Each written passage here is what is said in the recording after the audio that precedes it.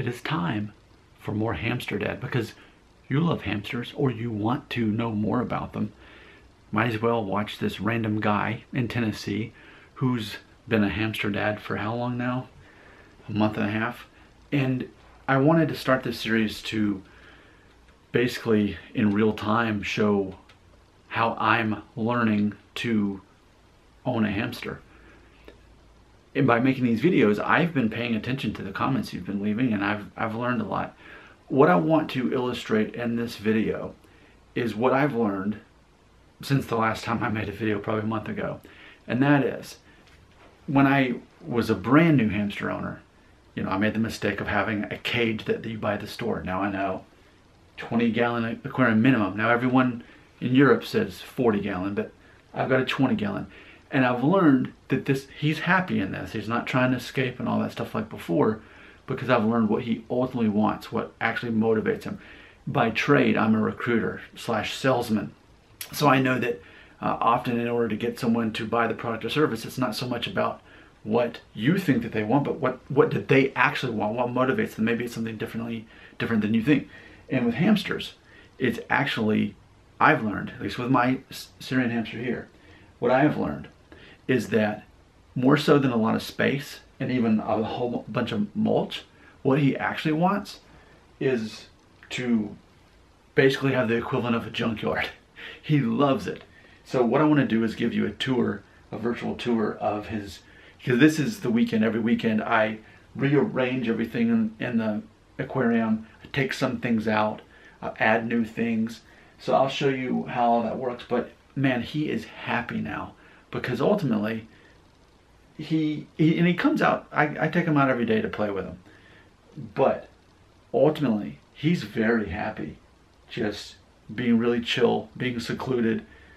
And i think now i've finally got in tune with how he's wired and designed. So what i'm going to do this is part of my uh, ritual is that when i clean out his cage every weekend i give him a new egg carton. We go through a carton of eggs every week. And so then I put uh, the egg carton in. I take the old one out and put the new one in. So for example, here's his old one.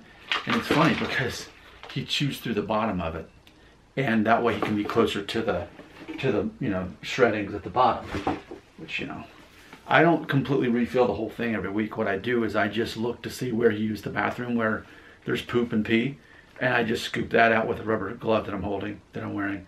And then the rest, I've been, I've learned that he actually likes the scent and he feels more comfortable when he can have the rest of it. So as long as there's not bathroom uh, territory that I'm leaving in there, and I only clean that part out.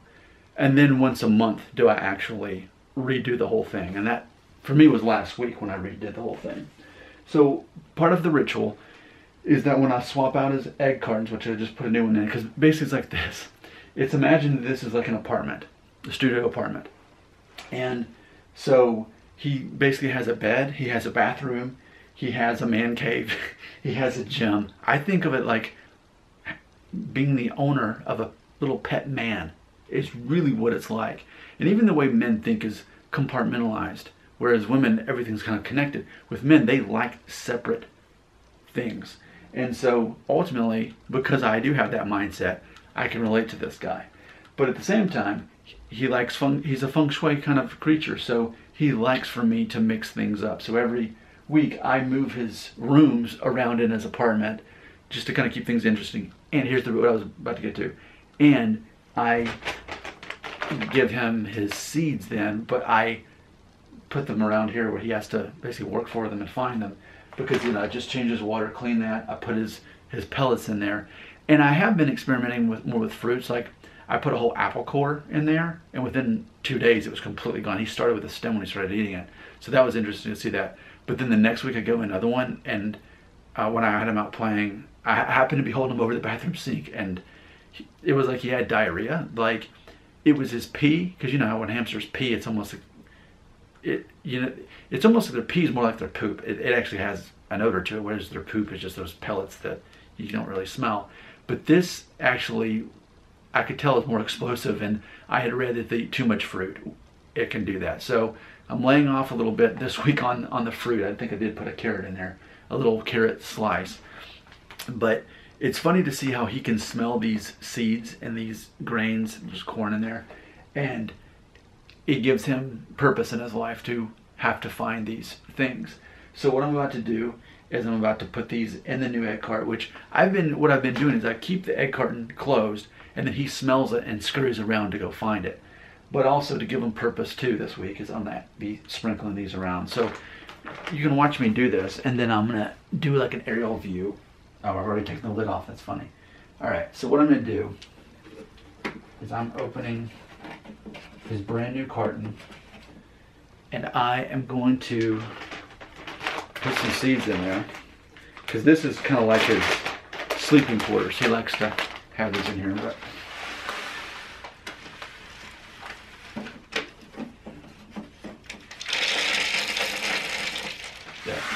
I fill one of those up with seeds like that, and then I'll show you in a minute. But ultimately, he's going to use one of them to poop in and one to eat in, and then the rest just kind of sleep in between. I'm also going to put some more. Let's see, where else can I hide some? And he's got his, that's his man cave right there. Uh, we'll see that in a second. Well, actually, might as well get the camera in since he came out. I'll show you. Here we go. So that's his man cave, which goes to his bedroom. Or I guess it's like this is his bedroom. This is his gym. This is the man cave. This is his bathroom. Now look, he actually peed as soon as I put this in, right before I started the video, he crouched down and he peed. I'm experimenting with cotton balls and I'm letting him experiment with them because I've noticed with tissue paper, he likes to shred it up and put it in his bed. So keep in mind, I just put this in here. So by the end of the week, he's going to, I'll show you here. He's gonna chew out the bottom. He's gonna eat the seeds. He's gonna poop in one of the corners but he likes to just completely chew out all the bottom so that it's next to the to the shavings there. So yes, this is back to his bathroom. What I did there with the paper towel uh, roll there, and he actually chewed it off like that. But and then I connected it to here, so that way it comes to his kitchen where he's got his water and his pellets, and then I give him some wood chews there, and then this is more just looking like a little closet or garage for him. So I mean, it really is set up like a like a man's studio apartment. So again, in review, we I change this out every week. That's his bedroom. And see even now, because sometimes he'll push up the top, and then other times he'll actually chew a hole in this corner right here. Can't see the reflection, but I keep it closed and I make him work for it. But he's already been able to open this one up. So there you go. His bedroom, where I keep food in there. His man cave. His gym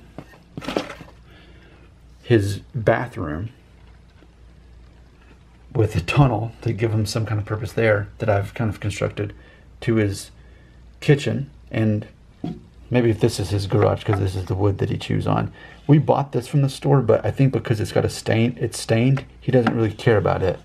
But this raw one, he loves to chew on this one. And then, yeah, whatever purpose you want to call that, sometimes he just stores stuff in there. So yeah, there we go. I'm I'm feeling really good about being a hamster owner, and this is really working well for him and for me.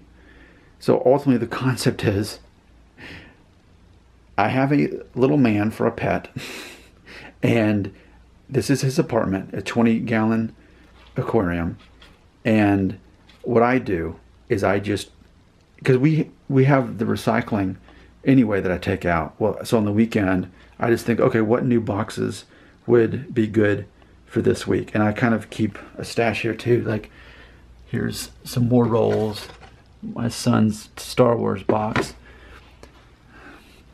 So this is his studio apartment and all the bedrooms that you can see. In closing this video, I will just take a look at it in action. Yeah, see there he is. He's like, he's really happy about his new food.